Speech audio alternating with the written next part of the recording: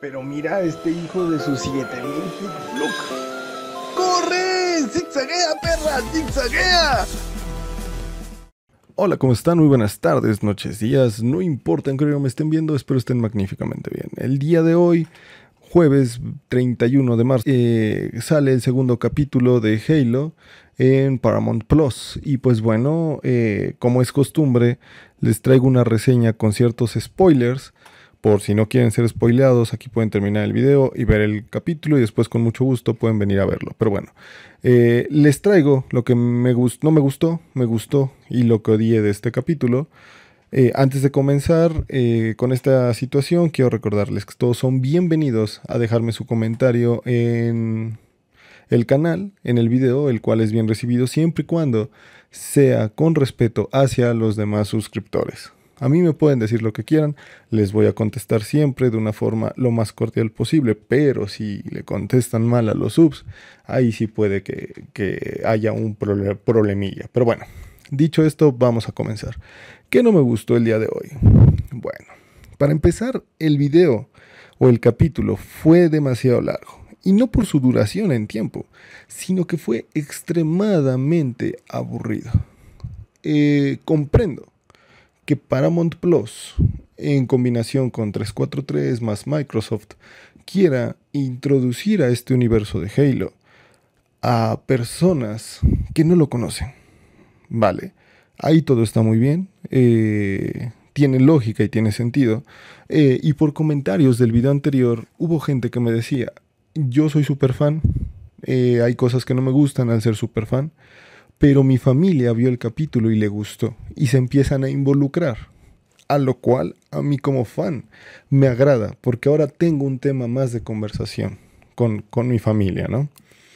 Si lo ves desde ese punto de vista, dices, ok, tiene buenos tintes lo que están haciendo para atraer fans a la franquicia. Definitivamente muchos fans no van a jugar los juegos por mucho que le llegue a gustar la historia porque es gente que quizás en su vida ha tocado un control de videojuego y, o un, ratón y un teclado para jugar y pues definitivamente no lo van a hacer ahora. Ah, o sea, es algo muy lógico, por eso están haciendo esto. Pero lo volvieron tan, pero tan aburrido. Eh, te vienen contando, eh, explican básicamente lo que es un, un artefacto para la gente que no lo conoce, sepa de qué están hablando, ese artefacto, cuál es su, importancia, eh, para qué está diseñado, etcétera, ¿no? Entonces, dentro de eso, está perfecto, está explicándole a la gente. Para un fan es aburrido porque te lo está hablando del artefacto, eh, resulta que le empiezan a explicar a la gente. Ojo con esto, préstenme mucha atención. Le empiezan a explicar a la gente que es un artefacto, ¿no? Te, te pasan la, imagen donde está el jefe maestro, eh, que la toca cuando va a hablar con, con este Red, creo que se llamaba Red, con T y H, eh, para poder este, eh, descifrar qué es el artefacto. Ni siquiera el jefe maestro sabe aún, en estos tiempos, ni siquiera él sabe muy bien qué es un artefacto. Y lo que de verdad no me gustó es que le dicen al jefe maestro, es que este artefacto es este solamente se puede activar por los elegidos, ni siquiera es el elegido, es los bendecidos, Dios bendito, los bendecidos. Olvídate que es el reclamador. Está bien que no sacan, está bien que estén introduciendo a personas nuevas a la serie. Repito, es algo bueno, es algo muy bueno. Pero tantita, tantita decencia y respeto para los que hemos crecido esto, lo sigo, lo sigo reafirmando. Tantita decencia para los que hemos estado ahí al pie del cañón jugando Halo y haciendo que la franquicia crezca. Ya no es el reclamador, ahora es el bendecido, The Chosen One. Oh, oh, oh, cabrón. O sea, le quitan todo lo, lo, lo, lo interesante por meter a gente nueva, que si se pone a jugar los juegos la van a confundir más porque ya tenía un título y ese título era el reclamador. Ahora ya no es el reclamador, ahora es el bendecido. Dios bendito. Literal, si alguien que vea la serie juega después los juegos, se va a quedar así de, ya no estoy entendiendo, ¿es el bendecido o no? Si no mal recordamos en Halo 3, y ojo, no es que quiera hacer que la serie sea todo igual que los juegos. No, por ahí también dijeron ese comentario así de, no, es obvio que no va a ser exactamente igual. Y menos porque ni siquiera es canon. Y ya con decir que no es canon, se están lavando las manos y pueden hacer lo que quieran y escupirnos a los fans en la cara.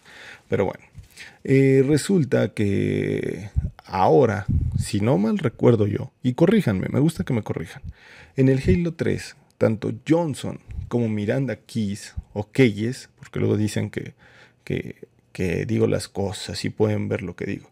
Pero bueno, esta Miranda Keyes, que es Kiss, eh, activan artefactos dentro del Halo, de las instalaciones del arca. Eh, y ahora resulta que no, que solamente es el bendecido.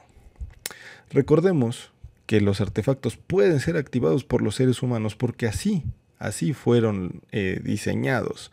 Los humanos es la raza que al final eh, después te explican que entre el didacta, los forerunners, etcétera, fueron los, los humanos que dejaron, o sea, la raza humana fueron a la que dejaron al cuidado del universo. ¿Por qué? Es algo que todavía no se sabe con certeza. Supongo que dentro de los juegos y en esta historia quizás nos vayan dando más claves. Pero ahora resulta que no, que no cualquier humano, sino que a fuerzas son los bendecidos, los cuales hay muy pocos. De esto ya te empiezan a hablar en lo que es Halo 4 y Halo 5, que es el reclamador, no el bendecido. Entonces ahí vemos cosas que a mi gusto y a mi parecer, mi humilde opinión, no van, o sea, no tiene mucha coherencia, tiene una lógica para dentro de la historia original. No es canon, ya sé que no es canon, lo vuelvo a repetir, ya sé que no es canon, pero bien podrían ir tomando ciertas cosas que lo están dejando por fuera. Ok, ahora, otra cosa que no me gustó. Resulta que te hablan de eh, el Spartan 066 Soren.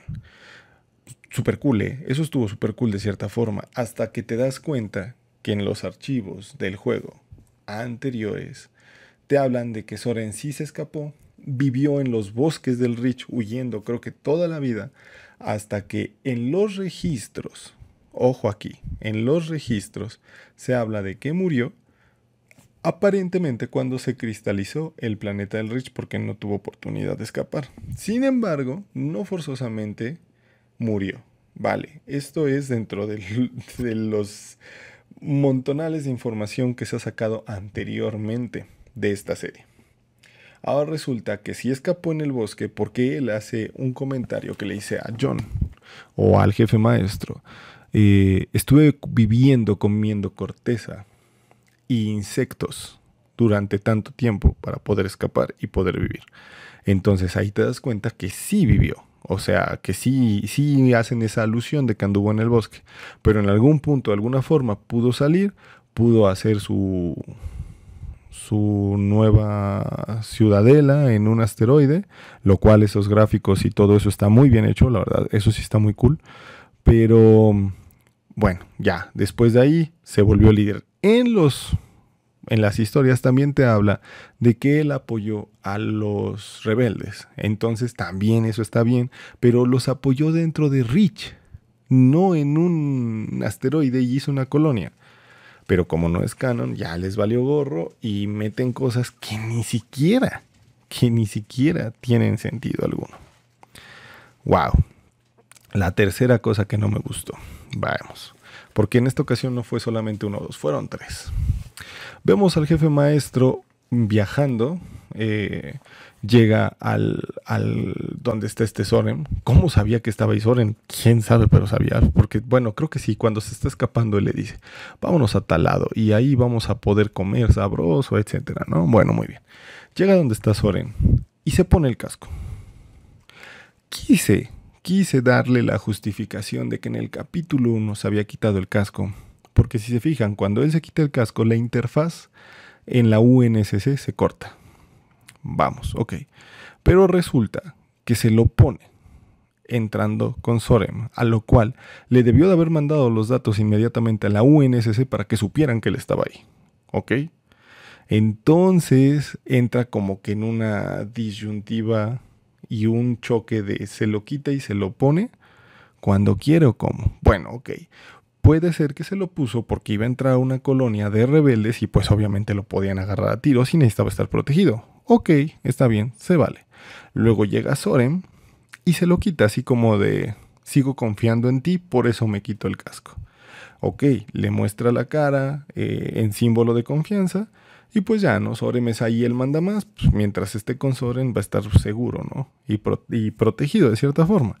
Entonces lo ves que anda ahí sin el casco y anda paseándose y bueno, hasta ahí todo tiene una justificación.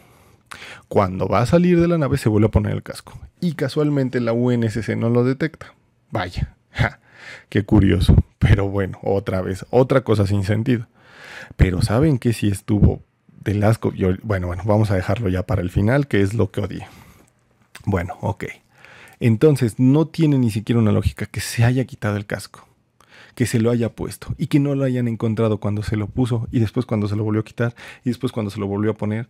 Luego vemos a un jefe maestro iracundo, vemos a un jefe maestro entrando en pánico, vemos a un jefe maestro sacado de onda, cuando literal el jefe maestro es la cosa más fría del mundo, porque él para eso fue entrenado, repito, no es que le metieran a Cortana para manejarlo, no es lo que dice Soren, es que te están metiendo hormonas para quitarte los, los gustos y puedas ser un mejor soldado, no, no, no, no, no, no, ellos fueron altamente entrenados precisamente.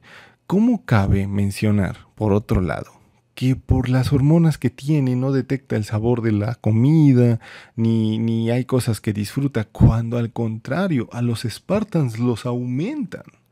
Y al aumentarlos les aumentan el gusto, el, olfato, la visión, el, oído, el músculo, los huesos, eh, o sea, literal los aumentan al 100%.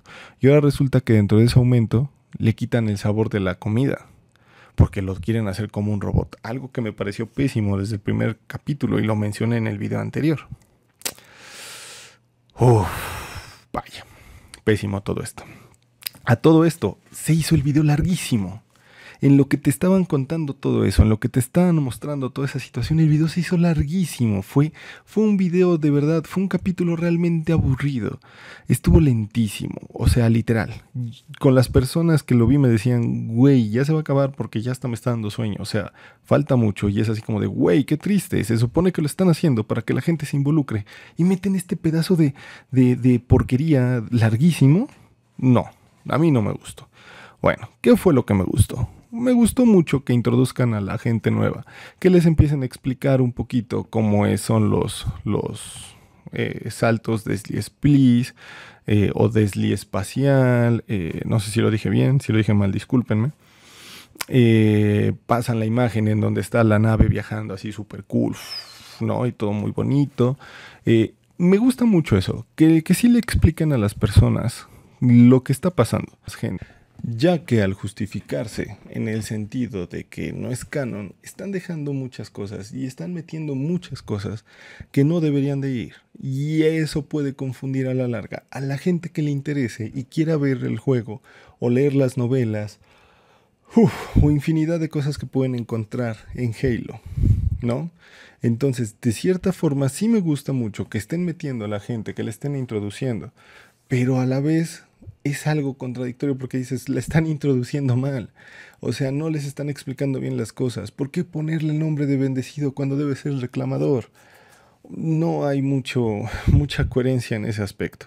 Y fue, créanme, que fue lo más que pude encontrar que me gustó el capítulo, que mostraran y explicaran ciertas cosas, como lo de, no sé, el artefacto y lo del el viaje, ¿no? Que, que le explican a la gente más o menos cómo es. Porque cuando lo quiere explicar el jefe maestro, le dice la chica, aburrido. Y ya se queda callado el jefe maestro.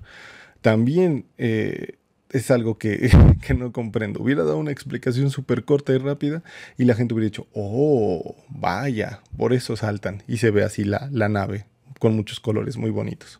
Bueno. Ah, tristemente, ¿qué fue lo que odié? Existen dos cosas que odié. La primera, cuando dan el aviso de que el jefe maestro es un fugitivo, ponen su cara en los, en los paneles de la UNSC. Cuando, si no mal recordamos, toda la información de todos los Spartans, eh, hasta sus rostros en específicos, son información clasificada. Siempre se ponen las imágenes del Spartan con su casco de armadura. Y es por protección tanto de los Spartans, para que no sepan quién es un Spartan de cierta forma, y no haya dentro de, no sé, la UNSC un traidor que quizás pueda atentar con él o hacia él mientras no tiene la armadura puesta. Lo vemos que baja del, de la nave y en vez de bajarlo con la armadura, ¿qué es lo que se debía de haber hecho? Lo bajan sin armadura, lo bajan sin, con la cara descubierta. O sea, literal, a ellos lo que les, les ultramama es que el jefe maestro se le vea la cara, punto. No les importa. O sea, cuando debe de ser clasificado, no solo él, todos los Spartans. Puede que los, los, Marines los vean y digan, ah, mira, es un Spartan, pero su información y todo eso debe ser clasificado. Son muy pocos los soldados y Marines que pueden ver la cara de un Spartan. No estamos hablando solo de un jefe maestro, de un Spartan en general.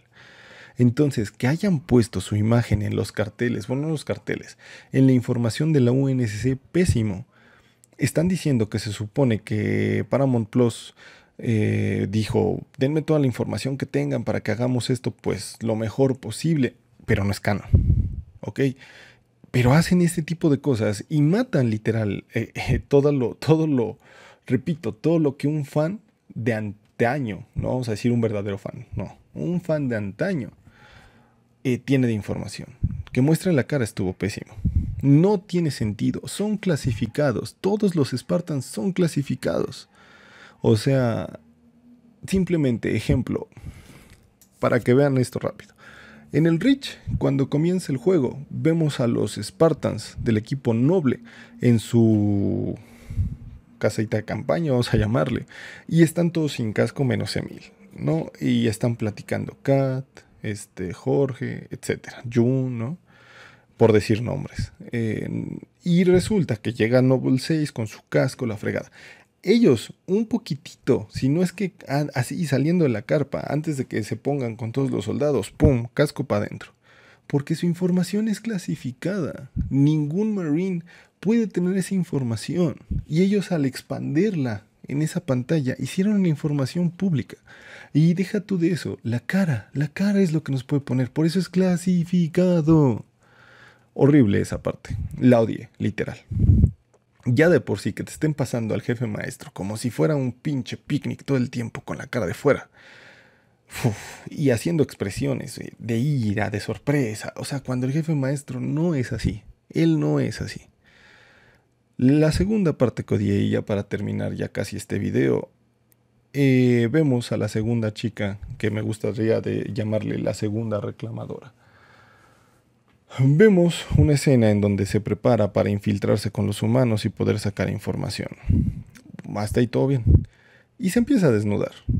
Ahí te habla de que el video fue tan... El, capítulo fue tan aburrido que tuvieron que meter un desnudo completamente innecesario. La vemos completamente desnuda. Eh, desnuda es, es, algo que es así como de, güey, ok, pues sí, está, está padre, pero si quisiera ver desnudos, pues voy a otro tipo de páginas, ¿no? O sea, sin ningún problema. en la actualidad puedes ir y ver mm, cualquier cosa en cualquier lugar. Entonces, ¿por qué la desnudan? ¿Por, qué, ¿Por qué hacen eso en Halo cuando ni siquiera era necesario? La historia es tan, tan maravillosa que jamás habían tenido que meter un desnudo.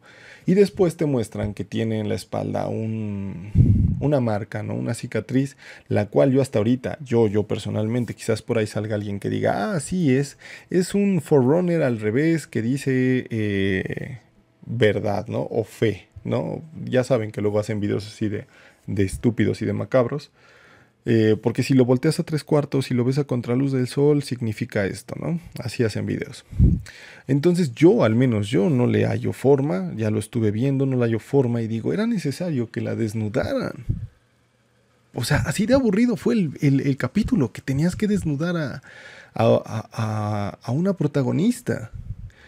Y la dejan ahí un rato, son como 10, 20 segundos en donde la ves completamente desnuda y dices, güey, o sea, está bien, no me molesta. O sea, como hombre dices, pues está padre, ¿no? Ah, bueno, está desnuda, pero ¿qué eso qué me aporta la historia? Yo quiero saber de la historia, no ver a, la chica desnuda, no me aporta nada.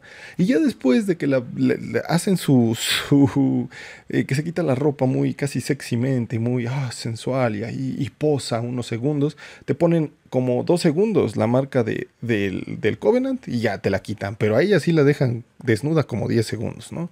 Entonces dices, así de aburrido estuvo que tuvieron que meter el relleno de un desnudo para que la gente venga a verlos. ¿De verdad? No, no va, no va con Halo. Perdónenme. Eh, sé que muchos me han dicho en los videos, es que, güey, tú quieres que a huevo sea igual que el juego. No, para nada. Pero sí que tenga esos destellos, esos toques del juego, que lo haga gozador y que te diga, ok, no es exactamente el juego, no es canon, pero, güey, déjame disfrutar un poquito más, como fan de antaño, ¿vale? Como ese fan que empezó con los juegos hace muchos años. Déjame, dame un poquito más de gusto a mí como fan. Está bien que quieras traer gente. Comprendo por qué explican las cosas de nuevo. Comprendo por qué hacen muchas cosas que no, que al menos a los que somos fans dices, fue aburrido. Pero ese desnudo, ese desnudo fue completamente innecesario. Y lo hablé con mi pequeña comunidad hermosa que adoro a todos mis Tequilmasters. Un abrazo y un beso. Y, y todos me dijeron, güey, es que cuando se desnudó yo dije, mm, ¿Cuál es el punto de verla desnuda? O sea, y de verdad no fue solo mío. O sea, todos lo dijeron, güey, si es que ese desnudo no le hay el, el, caso. Sí, pues, pues, la actriz, ¿no? Está, pues está guapa, no sé, pero yo no me interesaba verla. Prefiero ver cosas que me, que me llemen, que me, me digan más de la historia. Entonces ahí con eso demuestra lo aburridísimo y lo pésimo que fue este capítulo. Tuvo sus cosas buenas muy poquitas, literal pero si lo comparas con todas las historias extra,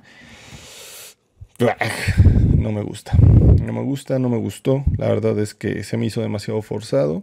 Comprendo que estén metiendo a la gente nueva, eh, les estén explicando cosas, eso está cool, para que esa gente se empiece a empapar, pero me gustaría, en mi humilde opinión y en lo personal, que los empaparan bien, que les informaran bien, no solamente que les metieran los datos por meter y que en vez de ejemplo el reclamador ahora sea el bendecido, The Chosen One, el elegido.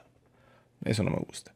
Pero bueno, espero ver sus comentarios en el video. Eh, espero que sean lo más respetuosos en preferencia hacia los demás que están contestando. Y si no, pues bueno, eh, tristemente se bloquean y se han sacado.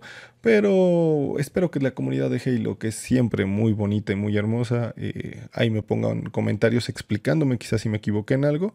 Es muy bien recibida la crítica. Por lo mientras, si les parece que ese desnudo fue completamente innecesario, pues dale like al video, compártelo, pero sobre todo suscríbete. También si no es mucho pedir, denle click a la campanita, ya que de esa forma YouTube les va a estar avisando cada que subo contenido, lo cual es muy a menudo. También para mí sería un honor que me siguieran en Facebook, Instagram y ahora TikTok, donde subo las jugadas de la partida de Overwatch, Rocket League, Warzone, Halo y infinidad de juegos que juego aquí en este humilde canal, que es con mucho gusto hecho para todos ustedes. Ahora sí, no me queda otra más que decir que soy Tequila McCree. Recuerden que esto no es un adiós, solo es un hasta pronto.